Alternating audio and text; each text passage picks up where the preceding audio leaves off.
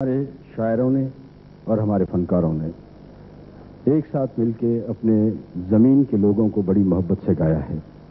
और ये लोग दास्तानें और लोग शायर जब अपने महबूब की या अपने मुर्शद की तारीफ़ करते हैं तो दिल से करते हैं।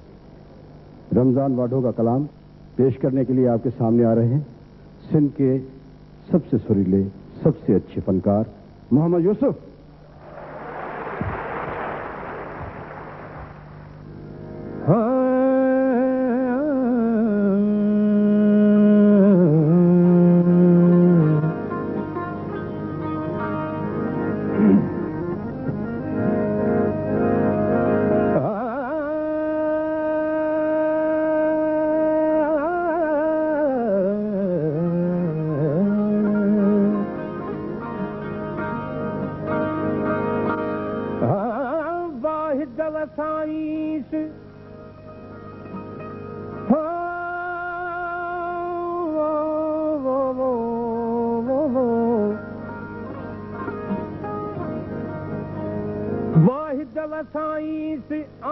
عالم جون سڻي. موڪل ٿئي مينهن کي تلم ترسائينس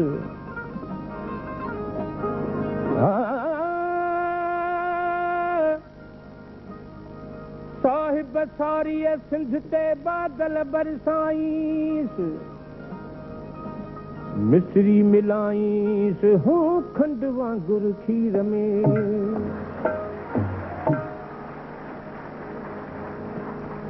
हो मस्त कलंदर लाल हो मस्त कलंदर लाल। सदावसी सिंध में सदावसी सिंध में सदावसी सेवण में सदावसी सिंध में सदावसी सेवण में। हो मस्त कलंदर लाल हो हो मस्त कलंदर लाल। सदावसी सिंध में अला मस्त कलंदर लाल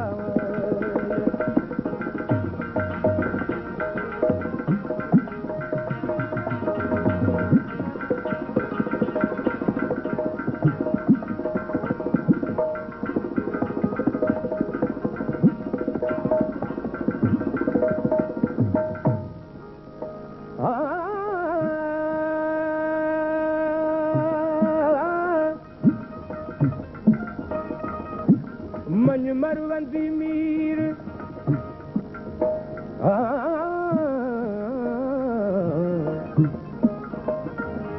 من مروندي مير ته چڙهي چاڙهي ڪن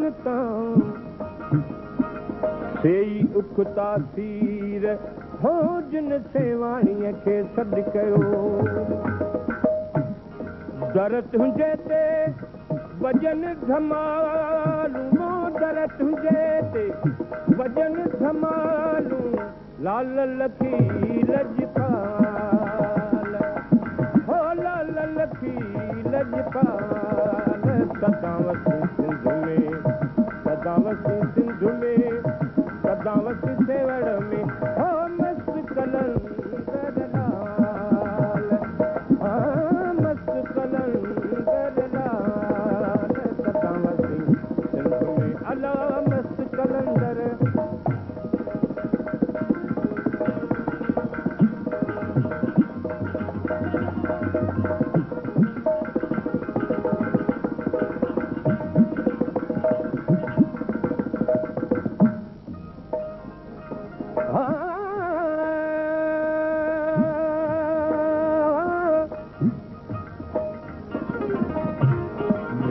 कलंदर, भेज कलंदर, हो भेज कलंदर भेज कलंदर।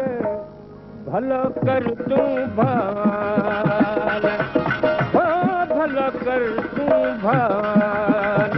सदावसी सिंध में, सदावसी सिंध में, सदावसी सेवण में, सदावसी सिंध में, सदावसी सेवण में।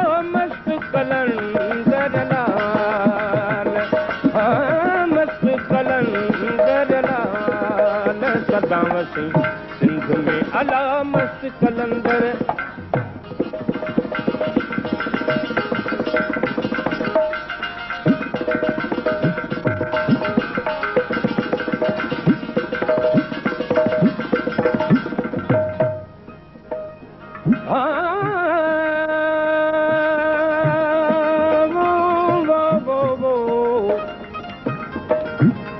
दर तुंहिंजे ते आजा शिवाली नो दर तुंहिंजे ते।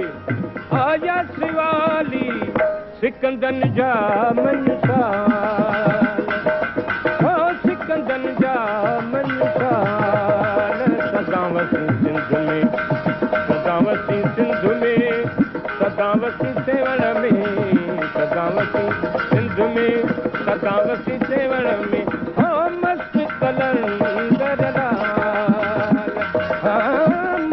कलंदर लाल सदा वसी सिंध में अला मस्त कलंदर